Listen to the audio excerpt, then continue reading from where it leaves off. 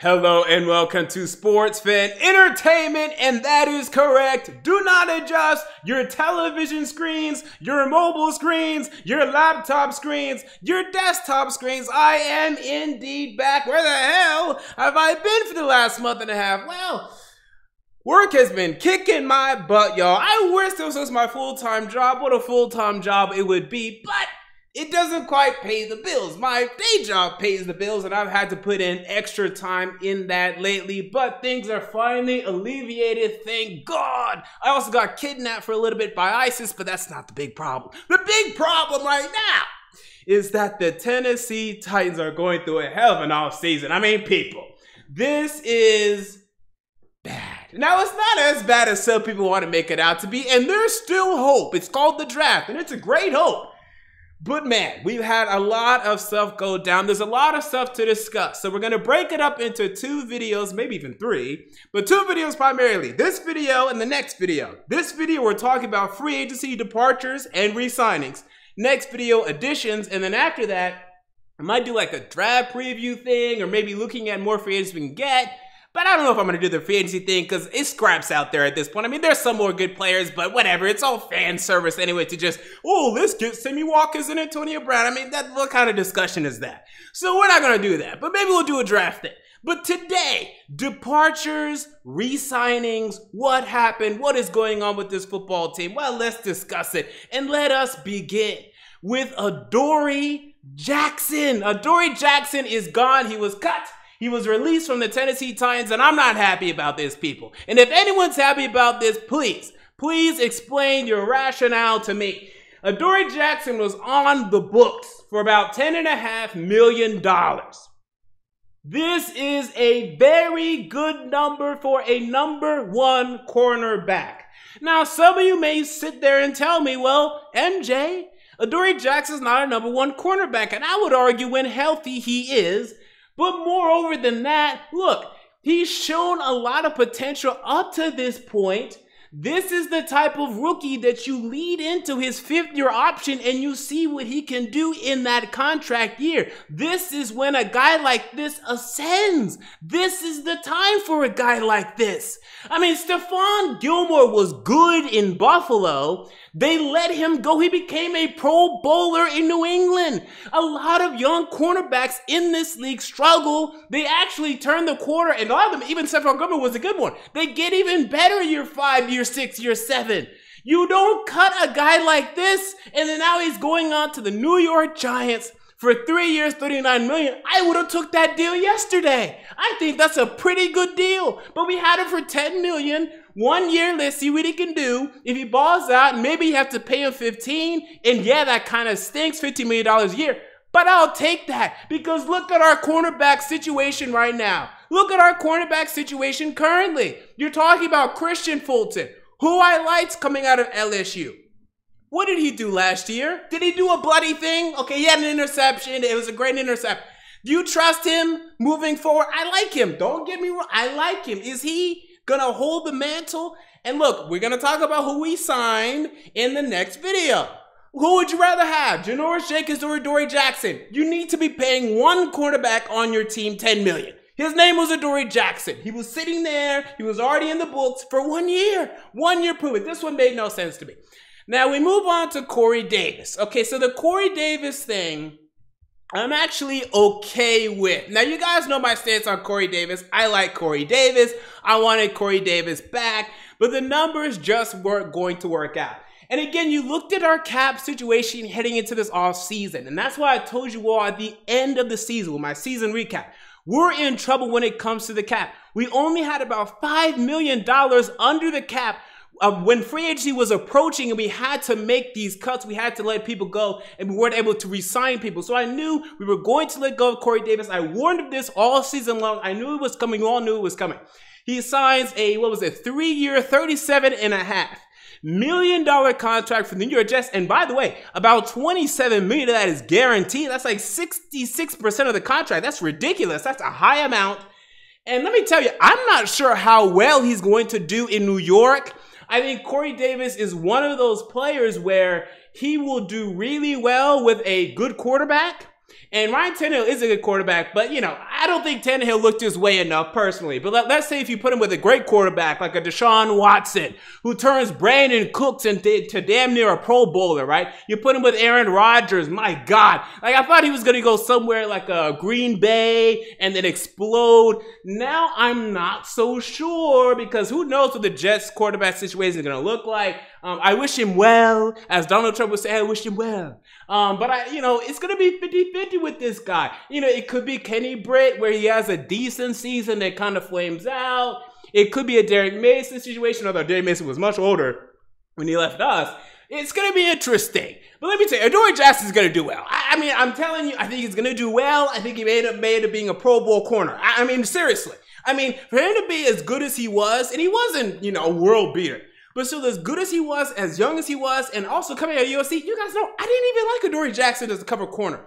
And he was much better rookie season, sophomore season, junior season than I thought he would be. And for us to let him go at this point is frustrating. So the Adoree Jackson uh, release just baffles me. On the books, you know, books wise, you know, eye wise, it just doesn't make sense in any facet, any way whatsoever. It didn't make any sense. So moving on from those two, we have Malcolm Butler who we had to release, and apparently they tried to renegotiate the contract, restructure the contract, and get out of the situation, and it just didn't work out.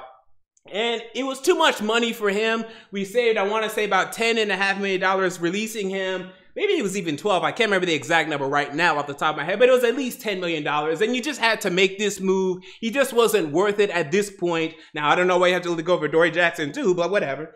Uh, but he just wasn't worth that number at this point, which is why he's moving on to Arizona, where he's only getting paid one year, six million. Okay, that's more of what he deserved. I would have gave him eight, um, but you know that's more of what he deserves at this point. I would have loved to have him back for six or eight million, but the number he was at was too much considering our cap situation. But thank you, Malcolm, Malcolm Butler, for turning on at the end of this season. We appreciate you for that, and your overall for your services in Tennessee. You know I would say it was decent. It had its ups, it had its downs. It was a little disappointing, little little because I really expected him to be, if not our number one corner, our number two corner for years. And I think it was only like two years and it really wasn't that good, maybe three. I can't remember the exact year right now. But, you know, overall, it was decent, I guess. All right, so there goes Malcolm Butler. Jonnu Smith leaves the Tennessee Titans. Now, let me tell y'all about Jonnu Smith. This number is ridiculous. I like Jonnu Smith, people. I really do. But Jonnu Smith, for four years, $50 million. $50 million. Who the hell you kidnapped Chelsea? Who the hell you think you kidnapped Chelsea Clinton? I mean, what are we talking about? $50 million for Jonnu Smith. I mean, look, we're talking paying him $12.5 million at the tight end position. And this is a tight end that hasn't even gotten 500 receiving yards in one season. He's getting paid like a top 20 wide receiver. He's getting paid the number three or four tight end in the league. He's not that yet. Maybe he'll be that one day. I mean, maybe, but he's not our best pass catcher at the tight end position. It wasn't even close between him and Anthony Firkser. Ferguson was the one that you trusted to run that 10 yard, 15 yard girl for the first down. You didn't trust Jonnu Smith for that. You trusted him to run it up the seam a little bit. You trusted him to catch something out of the backfield and do something with it. You trusted him in, to make stuff happen in space. But he wasn't a complete tight end yet. He doesn't have his complete route tree yet. He's not a natural pass catcher yet. You're paying him $12.5 million. Yeah, you can let him go for that price. That is ridiculous. However, could we have franchise tagged him? Because I think the franchise tag number was $8 million uh, that number makes more sense to me.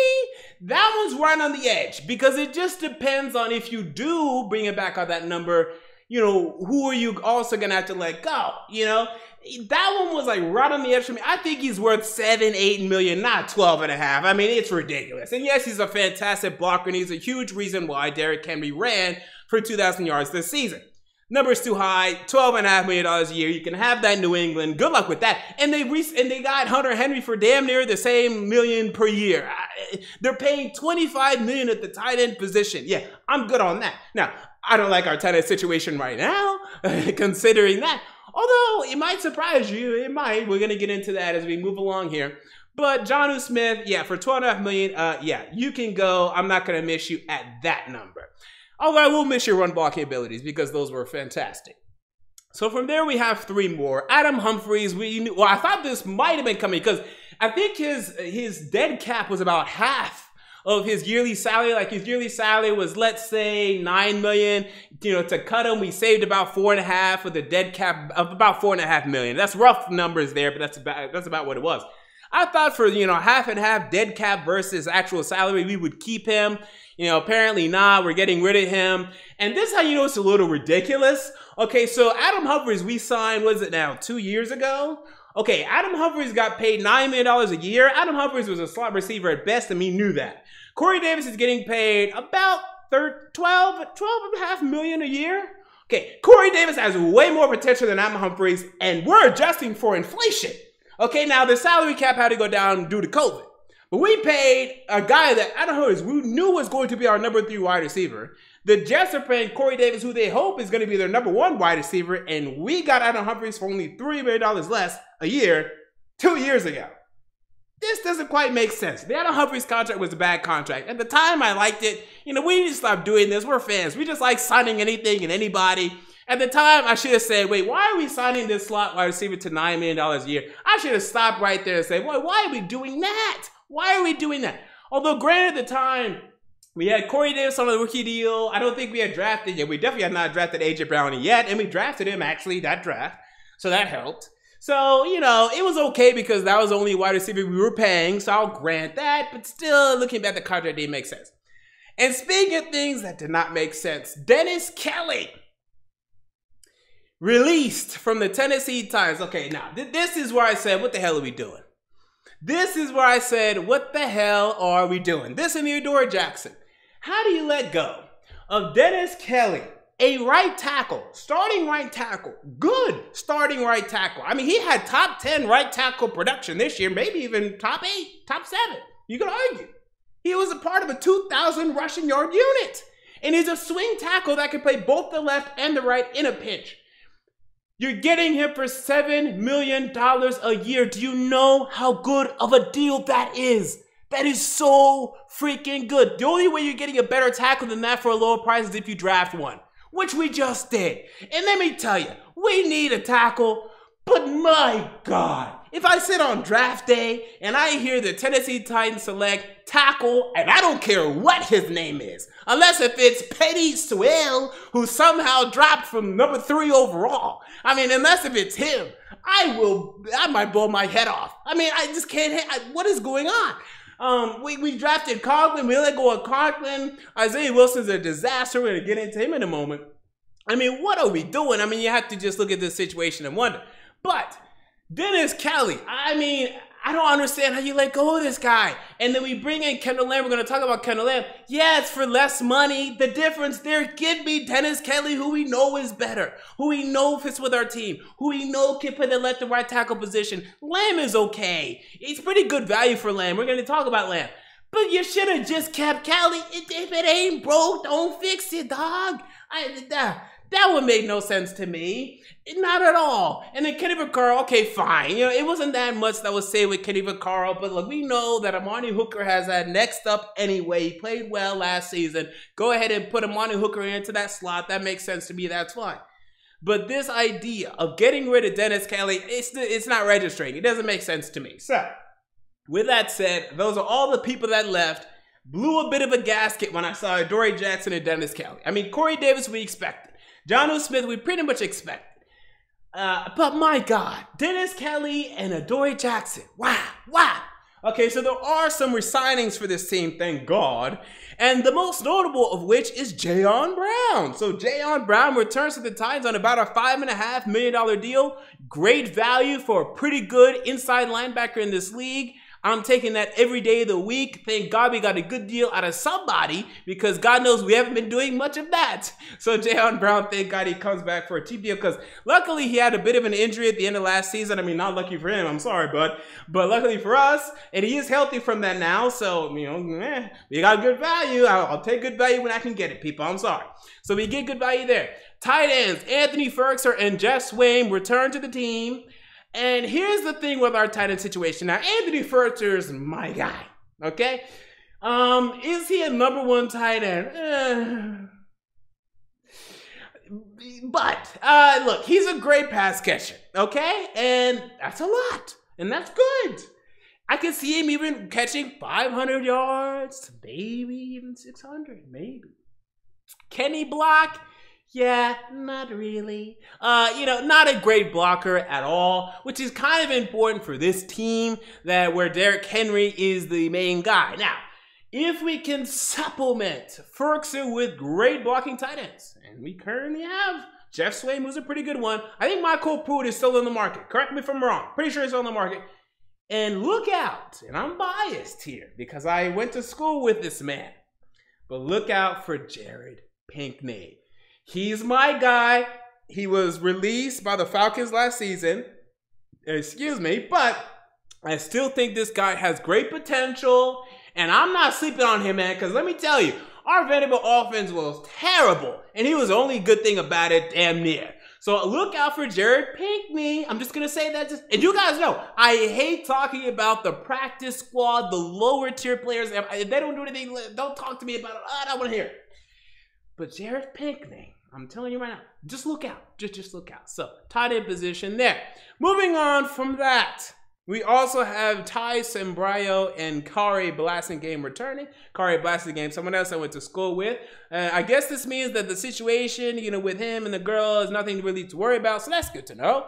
And then I guess, you know, Tyson Bray, look, he's a fine backup swing tackle. I guess that gave him reason to feel like they could let go of Dennis Kelly.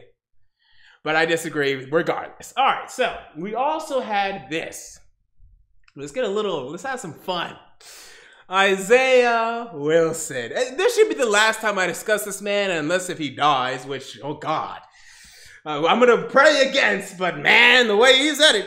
This man, we traded him away. My God. We traded him away to the Miami Dolphins. And I, on Twitter, this is why I need to follow my Twitter at the MJ Take. I was laughing my ass off. I was laughing my ass off from here to Knoxville. Because my goodness, I almost went to Miami to join him, to laugh with him. What a robbery. You're going to trade him. And look, I mean, we swapped seventh round picks. That's basically nothing. They may end up winning the trade.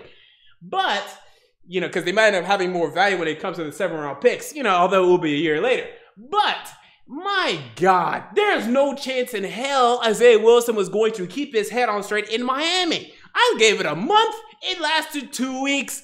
This guy had lean on his Instagram story, and then the next day he was gone, released, and there he goes forever. I mean, I think someone might sign him again one more time, and then that's it. He's done. And I've never seen anything like this. I mean, what an absolute disaster. I mean, we have seen some busts. We have seen some baboons run through Nashville, Tennessee. Pac Man Jones, redeemed, love him now.